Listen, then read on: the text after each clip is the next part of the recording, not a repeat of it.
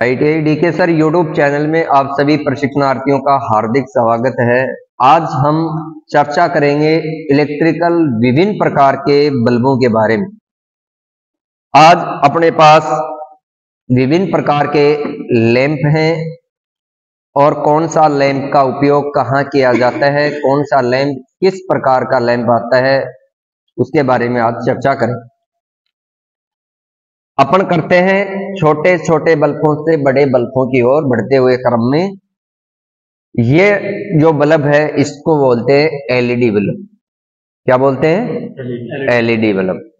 इस बल्ब को किस प्रकार के होल्डर में फिट किया जाता है? होल्डर देना। यह बैटन होल्डर। बैटन होल्डर के अंदर दो पिन कटी होती हैं और उन पिनों के अंदर जो लैंप के बाहर दो पिन निकली होती हैं, उसको इसमें फंसा दिया जाता है। इसमें दो वायर कनेक्ट होते हैं, फ़ेज़ और न्यूट्रल। इनको अपन फ़ेज़ और न्यूट्रल सप्लाई से कनेक्ट करेंगे तो लैंप जलने लग जाता है। और दूसरा अपना लैंप रहेगा टंगस्टन फिलामेंट लैंप। यह है टंगस्टन फिलामेंट लैंप। इसमें भी एलईडी लैंप की तरह ही ये पिन होती हैं और इन पिनों को इस होल्डर में फंसा दिया जाता है और इसके अंदर दो पिन निकली होती हैं एक न्यूट्रल की एक फ़ेज़ दो इनसे टच होता है तो लैंप ये भी गलो करने लग जाता है। तीसरा लैंप है अपने पास हेलोजन लैंप। यह है हेलोजन लैंप। ये बॉक्स के अंदर फिट है। इसको दिखाएँ क्या? इसको खोलते हैं और लैंप को दिखा। तीसरा जो लैंप है इसका नाम है हेलोजन लैंप ये हेलोजन लैंप है।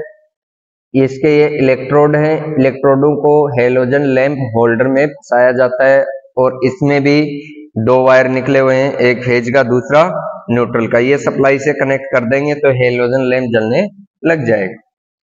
इन लैंपों का उपयोग कहाँ किया जाता है? LED lamp, tungsten filament lamp और हेलोजन लैंप। अपने घरों, शादी फ़ंक्शन, कोई भी कार्यक्रम होता है, उसमें सामान्य रोशनी, halogen lamp, tungsten filament lamp और एलईडी लैंप का उपयोग। चौथा जो अपना लैंप रहेगा, वो रहेगा सोडियम वेपर लैंप। यह सोडियम वेपर लैंप। इसका उपयोग कहाँ किया जाता है? स्ट्रीट लाइटों में। सड़क की जो लाइट होती हैं, उसमें भी किया जाता है। औद्योगिक क्षेत्र होता है, औद्योगिक क्षेत्र में भी इसका उपयोग रोशनी के लिए किया जाता है। इस लैंप में Edison screw type lamp holder लगता है, वो लैंप होल्डर दिखाना। यह लैंप होल्डर, ये अन्य होल्डर की तुलना में अलग है। इसमें कौन सा प्रकार का लगता है? Edison screw type.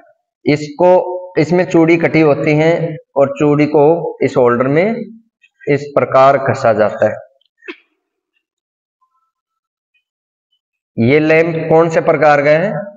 Sodium vapour lamp अब इसको होल्डर में फंसाने से ही ये काम नहीं करेगा। इसमें अलग अलग प्रकार के अलग अलग युक्तियाँ लगती हैं इसके अंदर। एक तो लगता है इसमें चौक। क्यों? ये लैंप सामान्य सिंगल फ़ेज़ एसी सप्लाई से जलते नहीं स्टार्टिंग में, इसको स्टार्टिंग में उच्च करंट उच्च वोल्टेज की आवश्यकता होती है। तो एक तो लगता है इसमें ब्लास्ट जिसको बोलते हैं अपने चौक एक चौक लगता है, एक ये इग्नेटर लगता है इग्नेटर में तीन वायर लगते हैं। एक लगता है इसमें कैपेसिटर इनका संयोजन अगले वीडियो में हम करके दिखाएँगे। और इसको फिट करके भी दिखाएँगे हमारे पास। इसका बॉक्स है। इस बॉक्स में लैंप होल्डर कैसे फिट किया जाता है, उस लैंप होल्डर में लैंप कैसे फिट किया जाता है, चौक का कनेक्शन कैसे होता है इग्नेटर का कनेक्शन कैसे होता है, और साथ में इस कैपेसिटर को कैसे संयोजित किया जाता है। अपने पास इसका बॉक्स भी है, ये लैंप भी हो गया, और इसका इग्नेटर चौक कैपेसिटर भी। ये संयोजन, संपूर्ण संयोजन इस वेपर लैंप का इससे अगले वीडियो में आपको बताएँ इससे अगला लैंप है अपने पास मरकरी वेपर लैंप। यह है मरकरी वेपर लैंप। यह भी अलग अलग रेंज में आता है। इसकी कैपेसिटी 400 वाट।